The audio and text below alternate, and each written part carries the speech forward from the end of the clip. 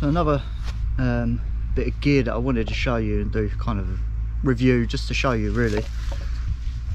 Um, I have worn this before in a video previously but I didn't do a video purposely about it and it's this British Army lightweight PCS thermal smock or something like that. Basically it's a lightweight thermal top to throw over your base layer and uh, in a nutshell it's got a thin fleece inside and on the outside is like a wind and water resistant nylon.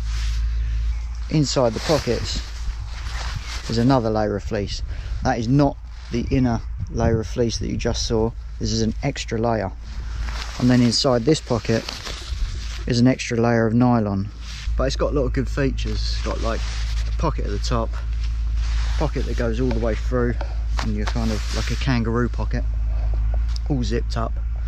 It's got side vents which also make it easier to get on and off. Um, it's got the underarm like armpit vents. So it's got a lot of venting so you can change your temperature with it. It's not as warm as like a proper insulated jacket but it's better for if you're on the move because it can breathe a bit better. And uh, obviously you've got the water and wind resistance. And then you can always throw something else over the top of this. Also it's got the collar that comes up quite nice on your neck it's got the hood which is you know not the greatest but it's there for a bit of a bonus does the job. And the velcro down here around the kind of hip it's quite a long piece of velcro so that's how you cinch it up tight around your waist to stop drafts.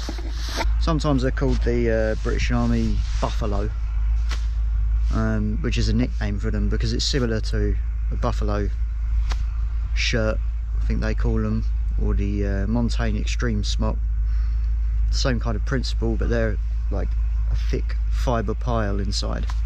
And so basically it is essentially a soft shell. A soft shell can be a lot of different things but this is basically a soft shell but it's a throw over style one. And it is a really really good jacket. I really like it. You can get them you know online grade one. Might find some I got mine brand new. Um, the prices range so much it's hard to tell you but for 40 quid you'll definitely get a, a brand new one. And uh, sizing's a little bit small. I had to go up a size to get it to fit me. Bear that in mind. But yeah really really good jacket. I really recommend it for wild campers and bushcraft and stuff like that. As a soft shell it doesn't do anything brilliantly but it does everything pretty good. And then you can add to it to make you warmer more waterproof whatever. But yeah really really good walking jacket and uh, a versatile bit of kit